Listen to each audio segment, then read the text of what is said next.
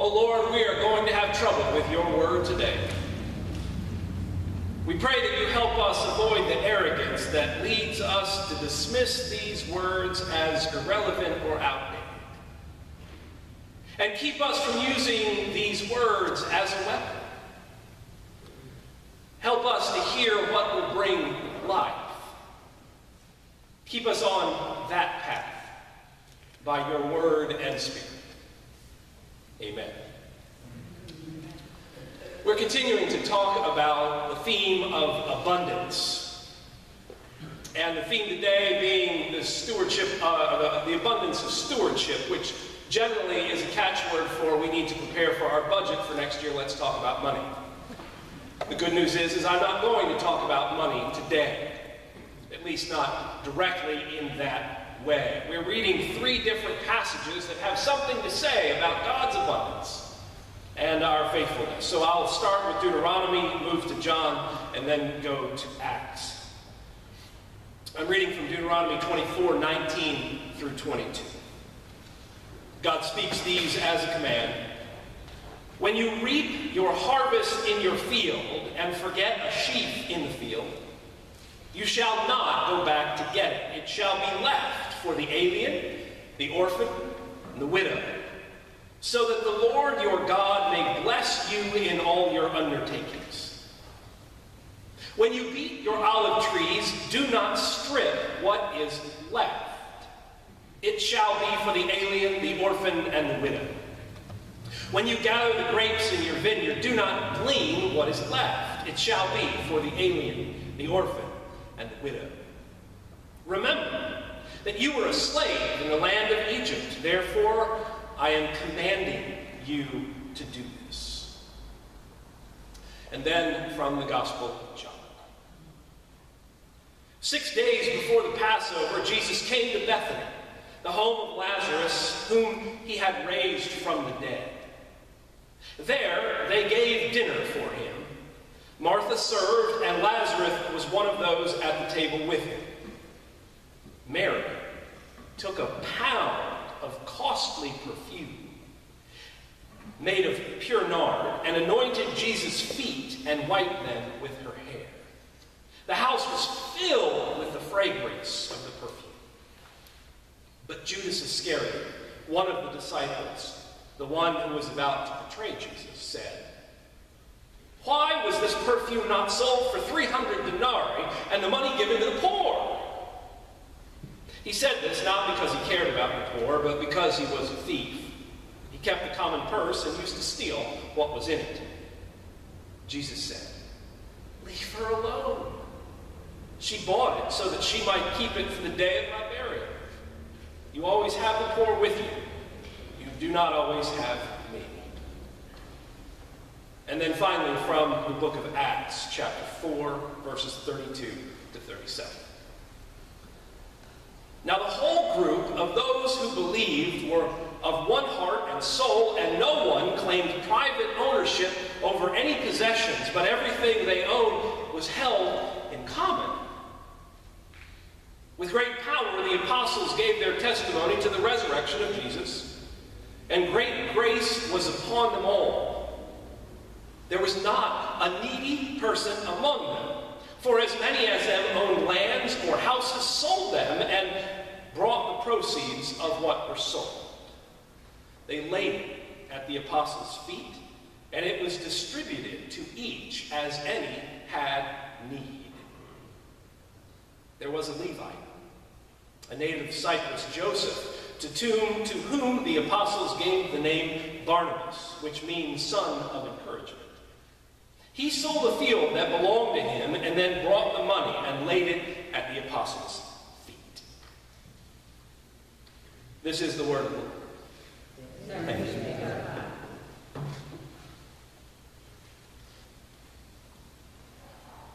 When I was thinking about the prayer for illumination this week, I realized looking at those passages, how could we not have trouble with this word?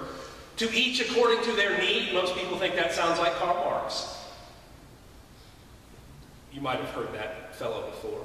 They held everything in common, No one had any need, and yet you have that passage stuck alongside this passage where Jesus is like, there's always going to be poor people around.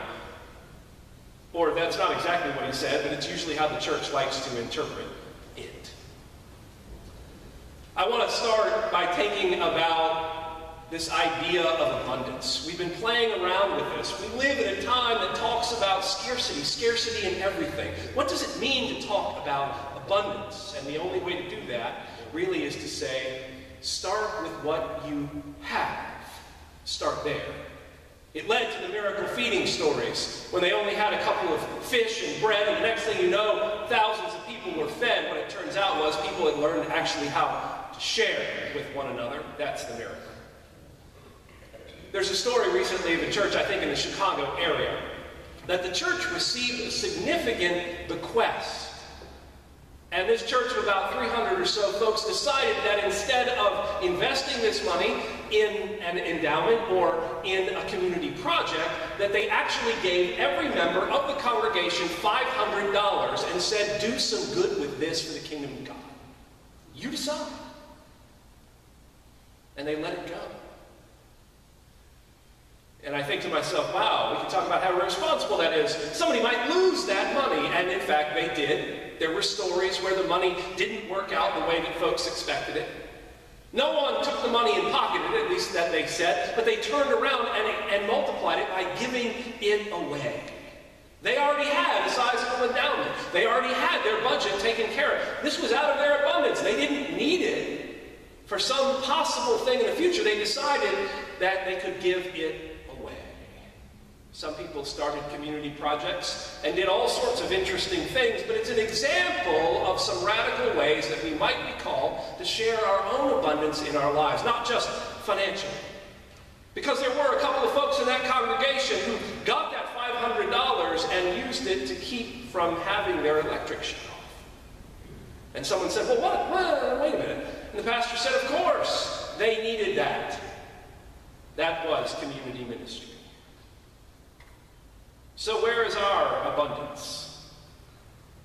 Where is it that we're being called to spend a year's worth of money?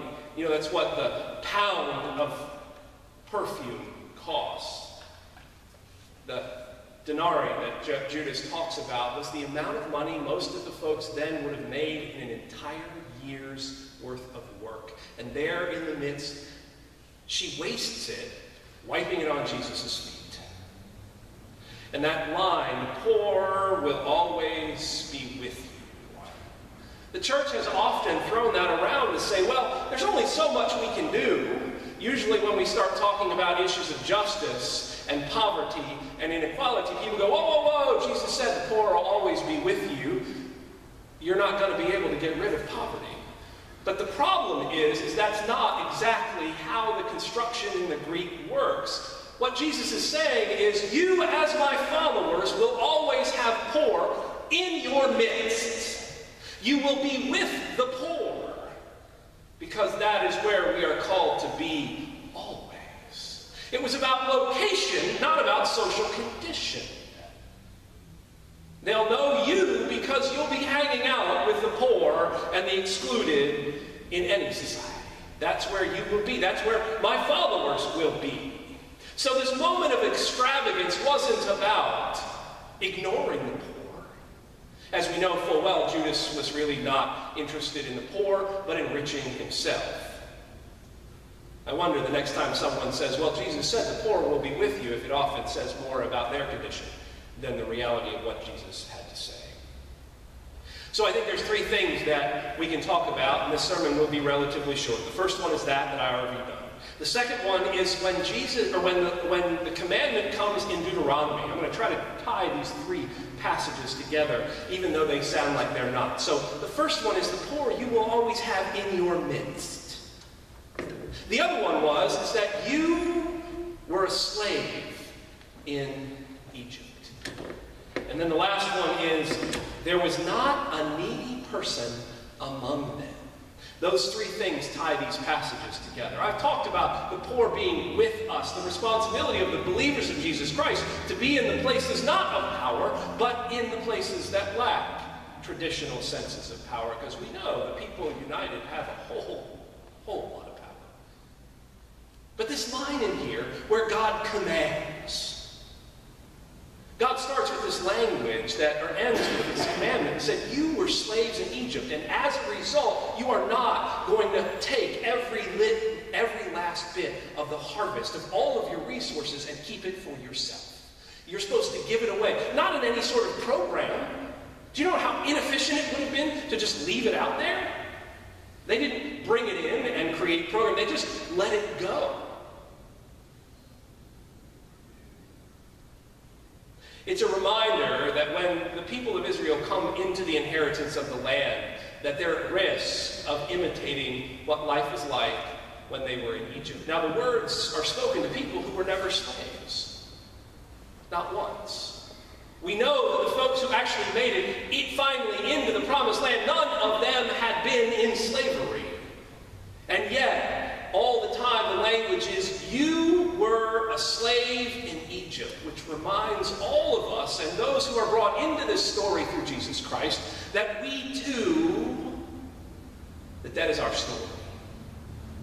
That that is our story. And if we hold up that story, it reminds us that we better make sure that we're not replicating the ways. That's why the Lord says, I'm commanding you to do this. There's no wiggle room in this. And in good Presbyterian order, you know, in our book of order, our book of our, our, our, our Constitution, any time the word shall shows up, by the way, means that it's not open for debate. It's not open for change. You shall do this.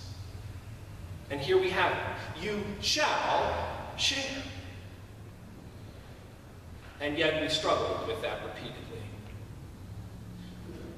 And then the last one was there was not a needy person among them. Can you imagine that? Can you imagine living in a society where there's not a needy person among them? We take it for granted.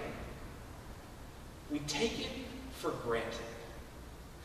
Now, many of you all know that I grew up in Indiana. I did grow up in Indianapolis, and those of us who are from Indianapolis like to say we're from Indianapolis and not Indiana.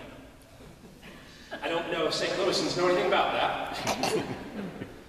so, but there was a fellow who I grew up listening to who I thought, this guy's just a farmer. He's from down south in Indiana. I don't, I don't really want anything to do with him. And as I've gotten older, I've become a bigger fan of John Mellencamp. And I heard an interview with him this week. And they were asking him why he didn't live in New York. And he said, I can't handle it. Now, y'all get used to this. You, you see homeless people on the street. You see, you know, folks in these huge towers right next to folks who are struggling to just survive. And he said, and y'all just keep walking. He goes, I can't handle it. It destroys my soul.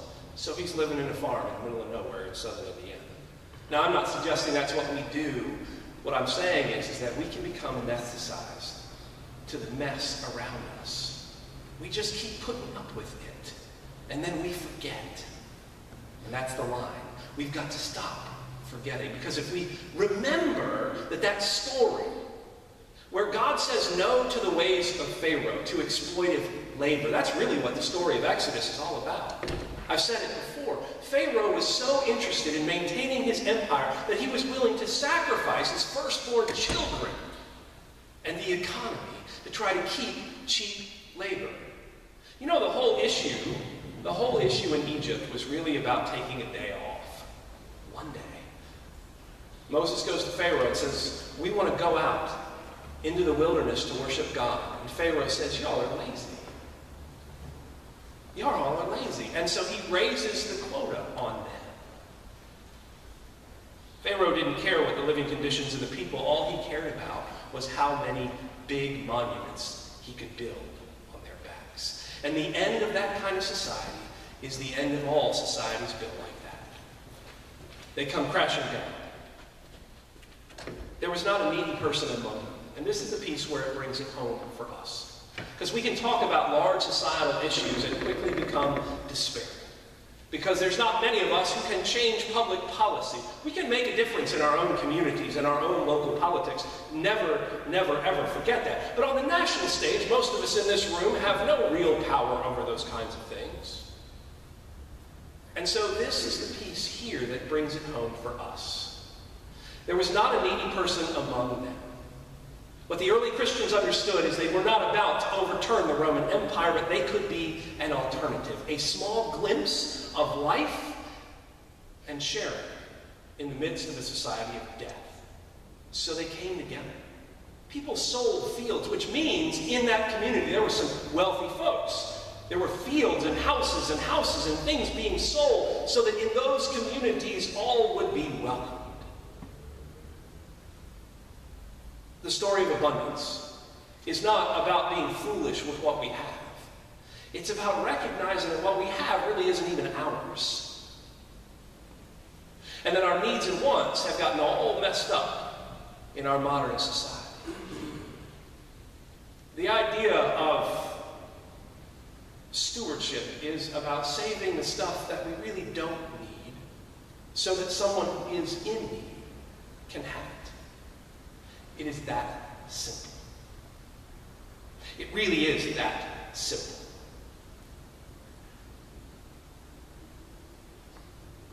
Any society that does not learn to share, any society that figures out that hoarding is the way to go, will come collapsing down. We know it. We feel it. Fear and anxiety reign high. And at the end of the day, abundance and stewardship is about dealing with injustice. When some have too much and others don't have enough. I could talk about public policy. I could talk about the structure of policing that leads to the mess that we have. I can talk about the North County courts that are in position of only doing one thing, which is making sure that they mail their budgets on the backs of the poor. We can talk about those things, but we've known that for a long time.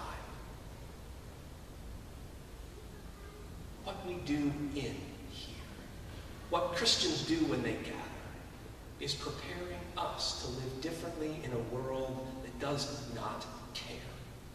And we'll back it up with all the tanks and guns they possibly can. That's the truth. Pharaoh wasted his entire army in the Red Sea trying to get back cheap labor. That's the story of our faith. So what do we do in the face of that? Do we despair? Do we turn inward? Do we ignore what's going on? No, we name it. We own it. And then we remember that we too were slaves. So that we don't continue to act like it. So that we don't replicate the ways of Pharaoh. And that we will never, ever forget wherever the poor, the widow, the excluded, the orphan, whoever is not at the center of things, is where we as a people of faith ought to go. It starts right here, but it does not end here. What we do is model the dis disciplines of our faith right here, and then go out and live in the world as if it already has changed.